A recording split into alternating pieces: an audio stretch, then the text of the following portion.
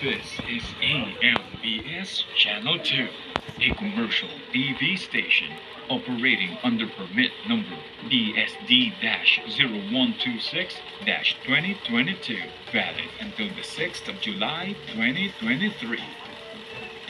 Channel 2 transmitter is located at Diliman, Quezon City.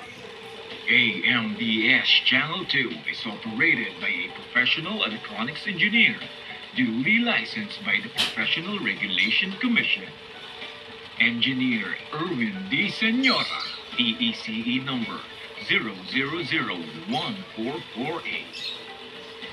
And operated by the following personnel, duly licensed by the Professional Regulation Commission and National Telecommunications Commission.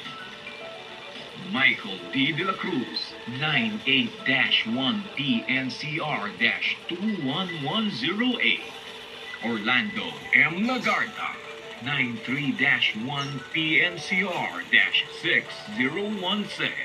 Jose P. Buban, 94-1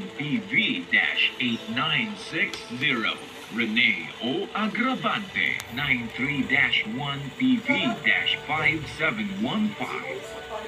This is AMBS Channel 2. Now, signing on.